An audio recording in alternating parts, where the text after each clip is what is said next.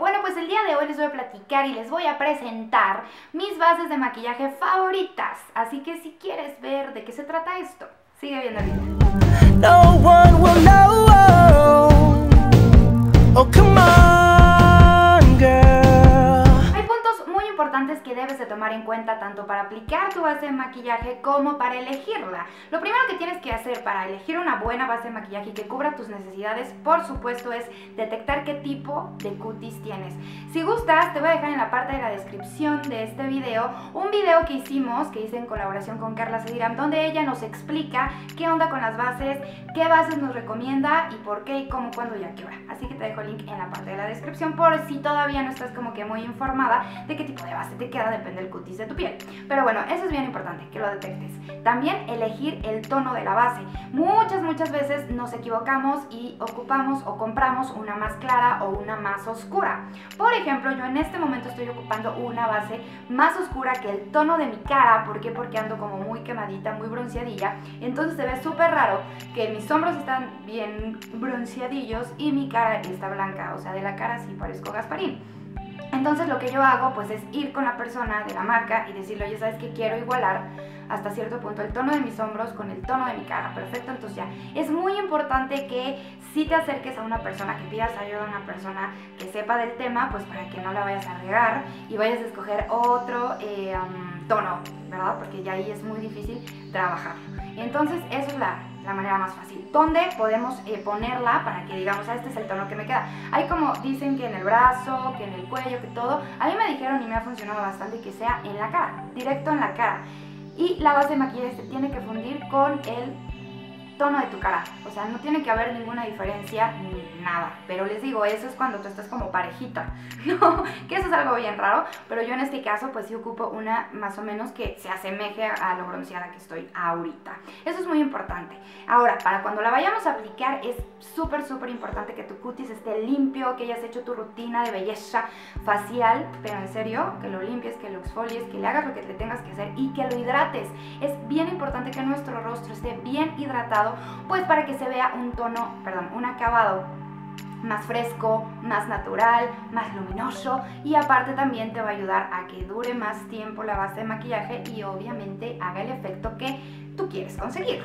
Esos son como algunos tipsillos que les doy, espero les funcione y ahora sí vamos con las bases de maquillaje que son mis favoritas del mundo mundial. Vamos a iniciar con las más pesaditas y terminar obviamente con las más como con las más ligeras. Vamos a empezar con la infalible Pro Mate de L'Oreal. Yo ya les había hecho una primera impresión de esta base de maquillaje de la cual se habló mucho y todas estas cosas. Ya pasó tiempo, ya la ocupé por mucho tiempo y la verdad los resultados me encantan, me siguen encantando. Es una base pesada para mí. Aquí dice que es una base eh, media, o sea que no es este, tan pesada, pero al menos para mí sí se me hace pesada cubre perfecto, o sea, cubre mis necesidades, que eso también es bien importante cuando compramos una base de maquillaje, que cubra tus necesidades. Es bien importante. Y sí, me cubre perfecto, es mate por completo. En estas bases que son mate, sí, sí es muy, muy, muy, muy importante que nuestra piel esté muy hidratada, si no, puede lograr dar un efecto acartonado, seco, así que parece, no. Entonces yo trato de hidratarme súper bien la piel cuando la ocupo y me gusta bastante. Aquí dice que dura 24 horas. No me duermo con ella, así que no les puedo decir eso, pero sí es de larga duración, eso que ni Es mate, efectivamente, tiene muy buena cobertura. La sensación ah, del producto es ligerillo, medio ligero, tampoco no es como crema, pero tan ligerito pues. Y la puedes aplicar con los dedos, con una Beauty Blender o con una brocha. O sea, se, lo puedes manejar muy, muy bien y es una base que a mí me convenció bastante. Yo utilizo el tono 103. Seguimos con las bases pesadillas y esta es la Red Long Color Stay. También te dice que dura 24 horas. No sé si dura 24 horas, pero dura también bastante, 16 horas sin problemas. Esta es de cutis mixto graso, entonces obviamente no brilla. No dice que sea mate, pero bueno, al menos para mí no brilla nada. Y tiene un protector solar de 15. También la textura es bastante ligerita, o sea, Al aplicarla la puedes aplicar con los dedos, la puedes aplicar con un blender o la puedes aplicar con una brochita o pincel o como le llames y cubre bastante bien, dura bastante, cubre las necesidades que, que, que, tengo y se las recomiendo mucho si están buscando una base pesada. Yo estas dos bases, que son las más pesadas que tengo, las ocupo para trabajar o para salir de noche, para que obviamente mi maquillaje esté intacto y todas estas cosas. Estas no las ocupo para el día a día porque se me hacen muy pesadas. Yo siento que a la larga de tanto ocuparlas pues sí maltratan la piel. Así que estas yo las ocupo para salir o para algo importante. Ahora vamos a pasar con las ligeritas, solo tengo estas dos pesaditas. La Fit Me de Maybelline, yo utilizo el tono 130. Es de verdad esta llevo años ocupándola. Me gusta mucho, la textura es ligera. Esta es una base que sí brilla. Es lo único que no me gusta tanto, pero está padre. O sea, para cuando te quieres ver así muy fresca, muy todo, está buena. Pero esta sí, sí la matifico con polvo translúcido porque no me gusta como que brillar mucho. Y esta eh, también tiene protector solar de 18, ya llevo muchísimo tiempo ocupándola. No es de alta cobertura, o sea, no es como las, las otras. O sea, sí me cubre, pero pues no, tengo que, el barrito y estas cosas, pues sí con un poquito de corrector. Me gusta la textura, y también la puedes aplicar eh, con los dedos, con una Beauty Blender, con un pincel, con una brocha. Está bastante, bastante buena. Ya, esta es como que la antaña de, de, mis cosméticos, porque les digo, ya llevo rato usándola me gusta bastante. Yo creo que ustedes ya la conocen, ya la han probado y está chida. Ahora vamos a pasar con este maquillaje en barra. En un video anterior ya les, se los mostré, les platiqué un poquito de él. Este me gusta bastante, es el de Maybelline, el Pure Makeup 5 en 1. Este es un maquillaje acabado en polvo y efectivamente es súper fácil de aplicar. Lo mejor de todo también es que no corres el riesgo de que se te vaya a abrir y se chorre en la cosmetiquera, al contrario, Solo pues no hay que dejarlo como en el sol o dejar la bolsa en el coche donde da el sol porque olvídate, te quedas sin maquillaje, se derrite todo.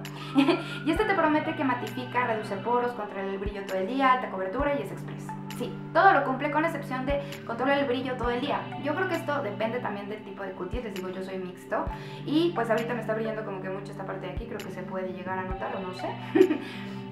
Pero está bien chido porque la aplicación es súper fácil, al ser en barra, fum, fum, fum, pas, pas, pas, con los dedos yo lo aplico, pero pues obviamente yo pienso que la puedes aplicar con lo que quieras y con lo que tengas. Siento que este maquillaje está perfecto para las chicas que se están no empezando a maquillar, pero sí que no les gusta ponerse tanta cosa en la cara. Y entonces es un acabado mate, es ligerito, ni se siente que lo traes. Es un maquillaje ligero, por lo tanto si sufres de acné o de marquitas y eso no te lo va a cubrir. Tal vez te lo cubra al momento, pero conforme pase el día ya no va a parecer que te pusiste nada, pero sí está bien chido y me gusta el empaque, no sé, los colores están como muy vivos. Y por último, yo sé que esto no es una base de maquillaje, esta es la BB Cream de L'Oreal, que también ya les platiqué un poquito de ella, es la Hydro Total 5 y esta me gusta porque no es grasa, no, la textura no es grasa, es para todo tipo de piel. Yo utilizo el tono media y estoy enamorada y no me voy a cansar de decirlo. Es la que traigo ahorita, en verdad ya no quiero usar bases de maquillaje, al menos que, sea algo muy importante, porque esta me, hace feliz, me hace feliz, me cubre perfecto. Sí, eh, me dura todo el día. Ahorita me la puse como a las 10 de la mañana y ahorita ya son las 5 de la tarde y voilà. Todo está súper chido, tiene protector solar de 15.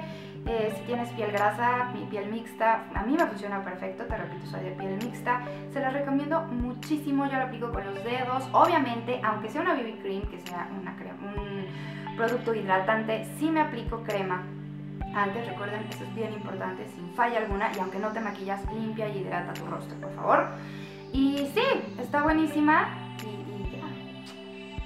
son las bases de maquillaje que ahorita me tienen enamorada, son mis favoritas, son las que ocupo, eh, no todas obviamente, pero sí ahí, las vamos campechaneando. Espero que te haya gustado el video, si tú ya ocupaste alguno de los productos que te mostré, déjame tu opinión en la parte de los comentarios. Y todo esto, como les dije, lo, conseguí en, en, una tienda de autoservicio, las puedes conseguir en farmacia. Eh, me preguntaron mucho que qué precio tenía la BB Cream. Esta me costó menos de 170 pesos. Yo creo que varían algunos pesos o algunos centavos, depende del lugar donde la compres, pero es menos de 170 pesos. Y los demás productos cuestan menos de 300 pesos. La verdad están bastante accesibles para cualquier bolsillo.